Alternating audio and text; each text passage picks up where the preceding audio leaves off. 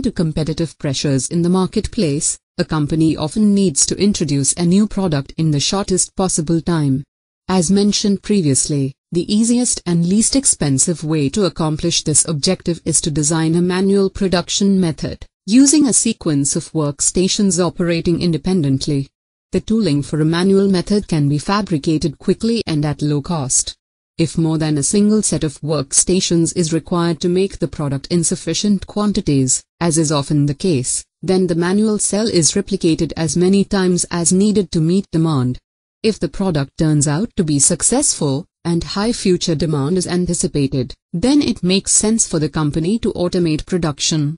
The improvements are often carried out in phases.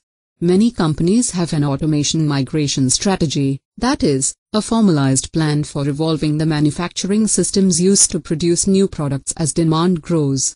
A typical automation migration strategy is the following.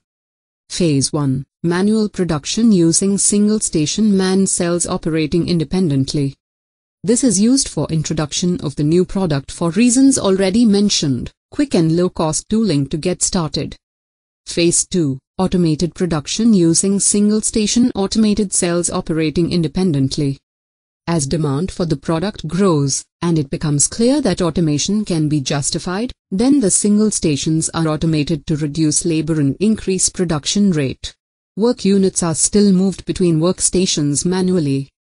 Phase 3 Automated integrated production using a multi-station automated system with serial operations and automated transfer of work units between stations.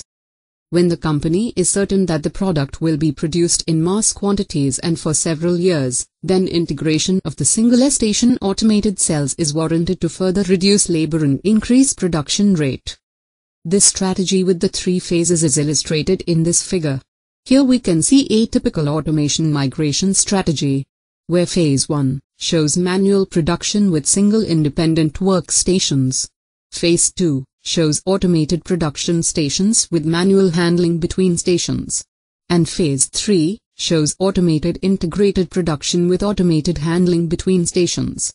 The keyword AUT represents automated workstation. Details of the automation migration strategy vary from company to company, depending on the types of products they make and the manufacturing processes they perform. But well-managed manufacturing companies have policies like the automation migration strategy. There are several advantages of such a strategy. It allows introduction of the new product in the shortest possible time, since production cells based on manual workstations are the easiest to design and implement.